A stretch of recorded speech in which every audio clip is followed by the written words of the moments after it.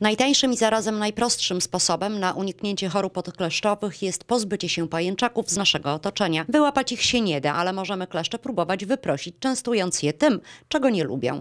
A w naszym pobliżu jest całkiem sporo takich nielubianych przez kleszcze roślin. Kleszcze są wszędzie tam, gdzie drzewa, krzewy i trawy.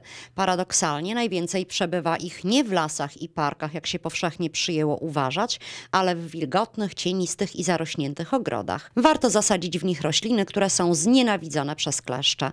Jedną z takich roślin jest wrotycz pospolity. Skuteczny, ale trudny do kupienia w sklepach ogrodniczych, za to całkiem sporo go na łąkach. W sklepach nie brakuje natomiast innych, równie skutecznych roślin. Często pytają o nie właściciele przydomowych ogródków. To jest dosyć często zadawane pytanie z racji na to, że komarów w tym roku jest bardzo dużo, kleszczy również. Niestety jest to ciągły problem w naszych ogrodach.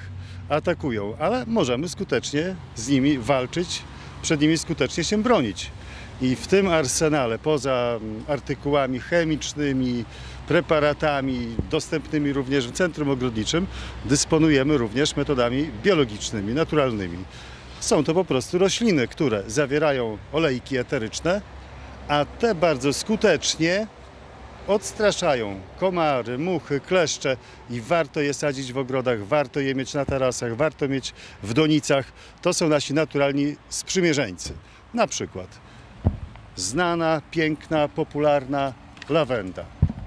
W sposób skuteczny odstrasza właśnie komary, kleszcze. Może rosnąć praktycznie w każdym nasłonecznionym miejscu w glebie dobrze, prawidłowo przygotowanej. Popularna kocimiętka, znana z tego, że przywabia koty, ale odstrasza i to bardzo skutecznie właśnie kleszcze, te, te najgorsze właśnie owady.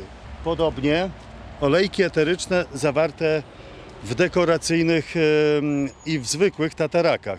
Tutaj prezentuję akurat formę e, ozdobną e, tataraka, którego możemy wysadzać w oczkach wodnych, e, w przystawach, w strefie przybrzeżnej. Co ważne, wymienione rośliny nie są trudne w uprawie. By je uprawiać, nie musimy być profesjonalnymi ogrodnikami. Uprawa kontenerowa umożliwia wysadzanie roślin w każdej e, możliwej dla nas chwili.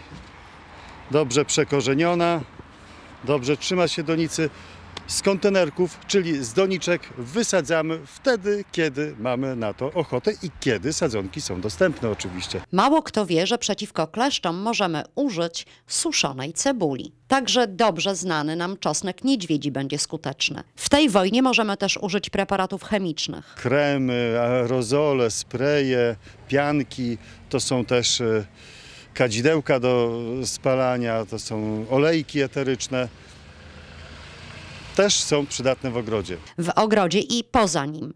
Ich niewątpliwą zaletą są poręczne opakowania, które możemy włożyć do plecaka i udać się na biwak czy na grilla, gdzie preparaty będą ratowały nas przed niepożądanymi gośćmi.